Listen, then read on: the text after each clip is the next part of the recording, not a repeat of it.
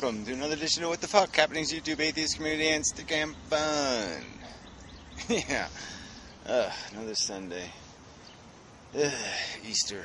Ugh. Ugh. Ugh, I feel like Easter. I feel like something stale. Anyway, um, you know, it's a good night last night, Stickam. Uh, Metamorph was in the room early, and, uh, you know, we had a nice conversation about how you know, pathetically stupid the human race is. And uh, yeah, so it was good. Um, just kind of validated the point that, yeah, well, the argument's been made, it's been said. There's no real counter argument except I want, or I feel, or some other kind of mush. Um, you know, life is fundamentally um, a replicating molecule. Uh, we're just blighted with all these emotional mechanisms, uh, these need mechanisms that keep us in the game as individuals, and somehow we just keep extending that onto another generation, you know, because something hatched us and raised us that we think that's our job. Yeah, well, that's how they did it, so I'm going to do it. Um, just redundantly playing the game. And, you know, a big giant percentage of the population doesn't play the game. I mean, they step away from that bullshit and uh, they don't procreate. They don't build a life around that. Um, and uh, but you know they can't stop the game by their behavior. They have to stop the people who keep making pieces to play the stupid game. Uh, so anyway, I've already made the argument over and over and over and over. It doesn't matter. Just uh, you know, life is just pathetically insidious, and you know, the the closer you are to being in the dungeon, you know, being in the hard places.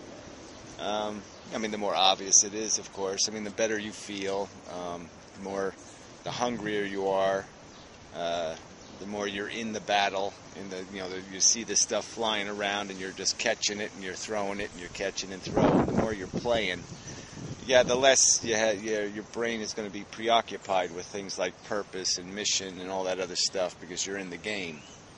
And it's as soon as you slow down a little bit, as soon as you stop spinning in the wheel, you can start looking around and seeing what the thing is made out of, and that's when it's, you know, you have to draw your conclusions. You have to create your understanding in those moments and, and kind of try to take that with you to the better places.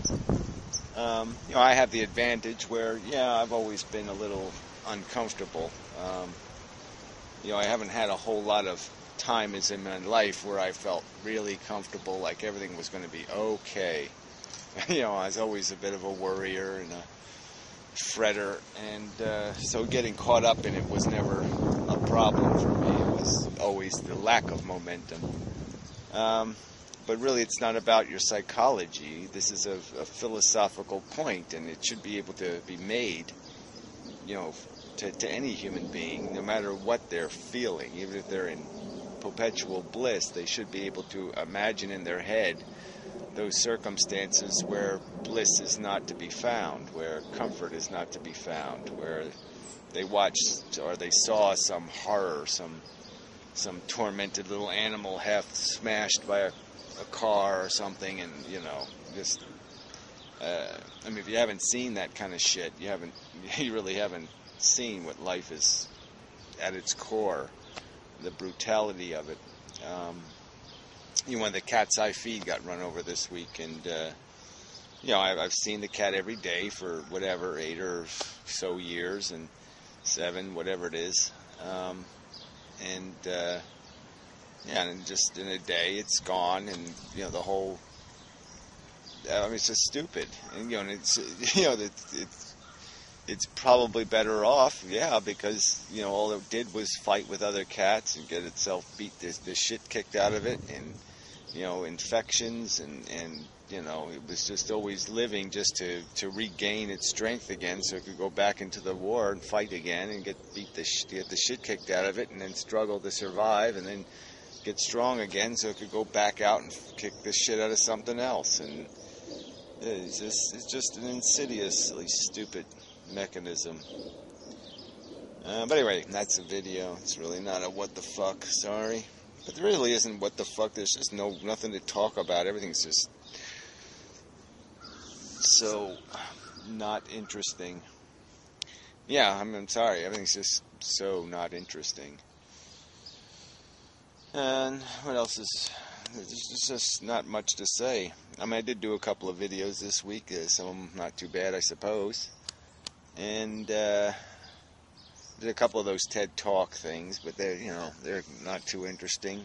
I mean, I'm I'm really disappointed. Actually, they're just almost horrible. They're almost insufferable. They're almost hard to watch. Um, what else?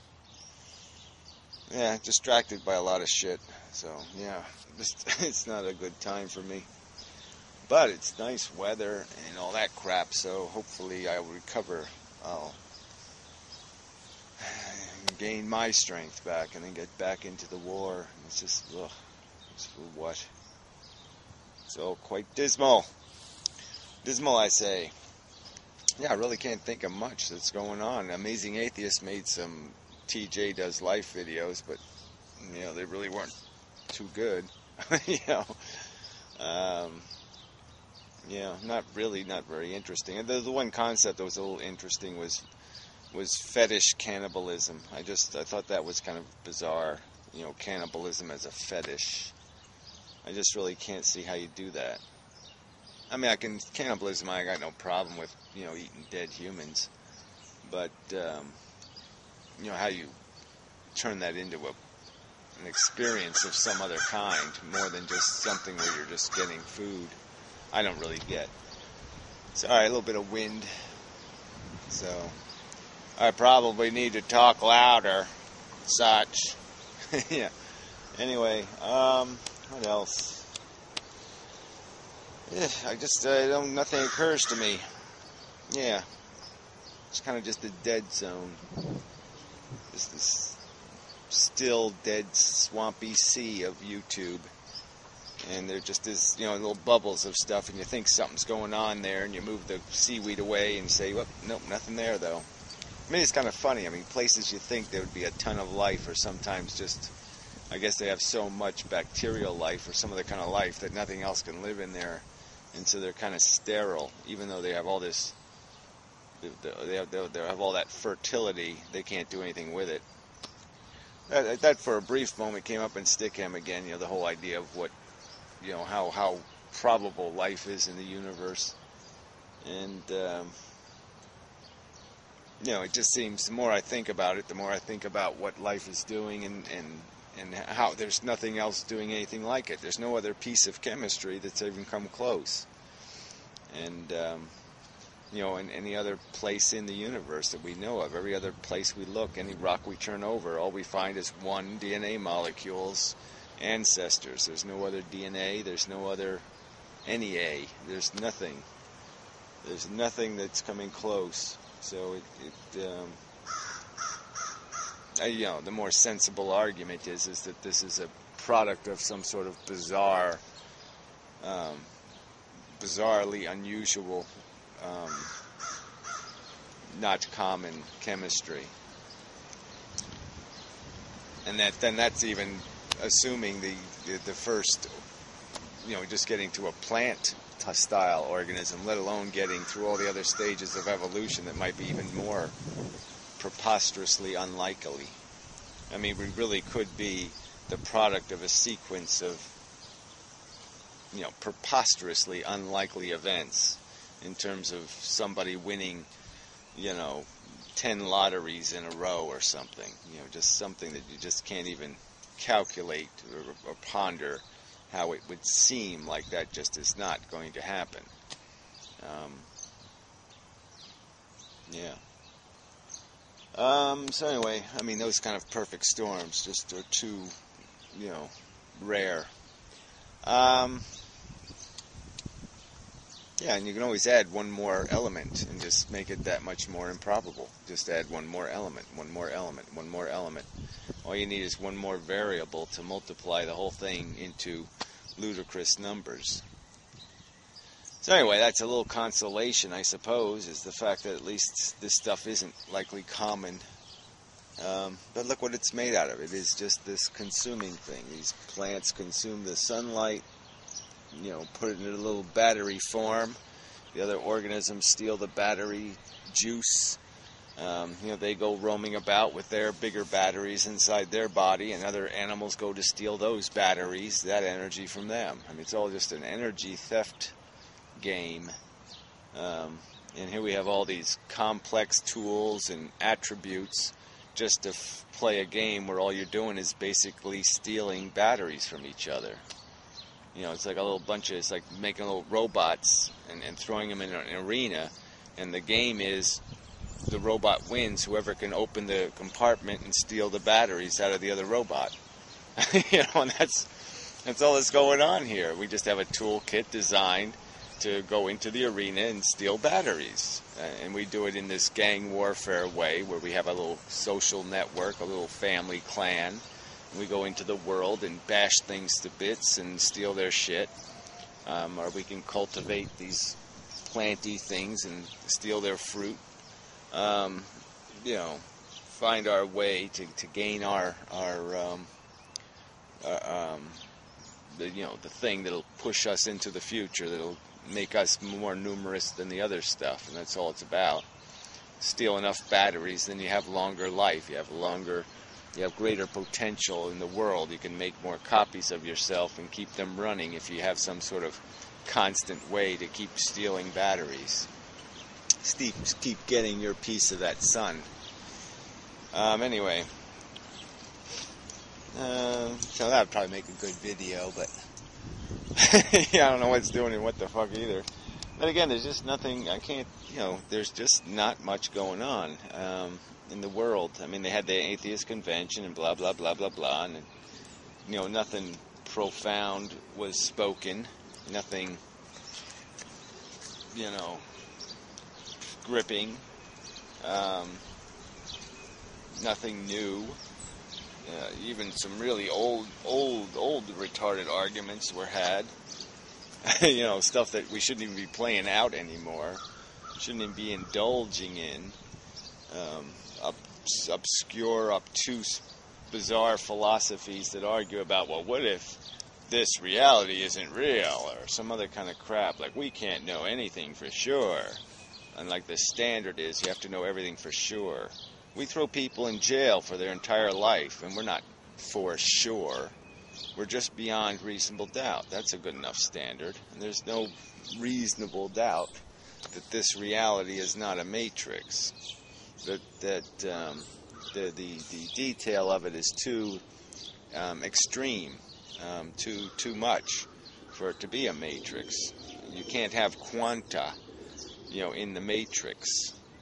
You know, realistically, you, you, you would it, there would have to be somehow it would have to be illusionary, and then you would be able to detect that it was an illusion. There'd have to be a flaw in the the geometry of your holodeck, so to speak. You couldn't take a magnifying glass to it because you're going to see the pixels. You're going to see that it's a generated um, reality. So it wouldn't you could you couldn't take scientific tools into the matrix because the the fakeness of it you're going to be able to scrape at the surface of it and find it. Uh, but anyway, that's a whole different philosophical kind of argument. Um, you know, whether there's a, a logical um, proof, so to speak, of non-matrixy-ness of the universe. Um, but then you'd have the whole argument of why they would make a who, who would create a, a perfectly brilliantly constructed three dimensional matrix of crap.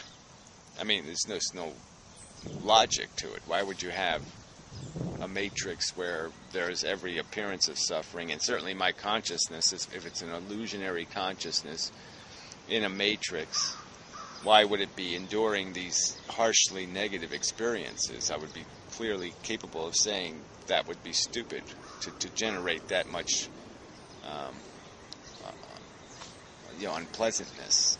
The, the, the, it's, it's beyond what's necessary to play a good game. But again, it comes down to game. There is no good game.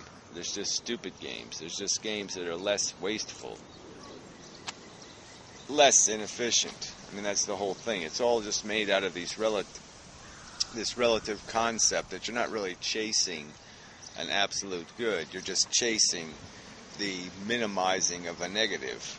And that's all life is really made out of. It's not that there's anything really positive, there's only the negative first that gives you a perception of positive relative to that negative gravity. So it, the, the negative is the real force of the universe. The, the dark side is the, the, the machinery of the universe. And the only light side is just escaping the dark. Um, it's that pitiful. So anyway, what else? Does anything, anything else? Really? Sorry, it's you know another not great video, but um, yeah, I did. Um, the the gray guy has posted a few videos. They're all kind of interesting, but he did one cutting a few clips out of. He calls it maggots, I think, and um, you know it, it uh, takes a few clips out of that speech video I did that was pretty good. So that was a pretty good video. And uh, yeah, whatnot old fan did a little tribute video to the cat, which I thought, you know, that was just really nice of her. And, uh, you know, people are very thoughtful, you know, and uh, I appreciate it um, and such. I don't, you know, don't show my appreciation very often or do anything, but I could say thank you, but, you know, it's kind of lame. But it's better than not even mentioning it, right? Probably. Ugh, man, the sun is nice, but God, I feel ill. It's killing me. It's like a bug being cooked on this, the asphalt or something.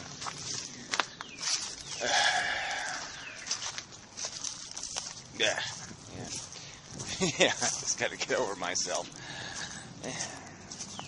Get into a routine. That's what I need. A routine. One of the cabbages came back nicely. It's flowering. It's gonna flower. That's kind of a hilarious. Hey, look at that, the forget-me-nots. I forgot I had them. yeah, I forgot me nuts. I forgot me nuts. I used to have a ton of them. Used to all be covered. The whole thing would be covered with them. But I have failed dismally. My gardening routine. Yeah, used to be this whole row of them here. Used to all be all down this path. None. Look at that, hard. I got to do some work. Weeds everywhere now. Deers ate all my roses. Well, they didn't eat them all. They just trimmed them back. That's what they did. They trimmed them for me. There's the cat. Yeah. Sun puddling. Anyway, I think that's all. Well, yeah. I think that's all. So till next time, and such.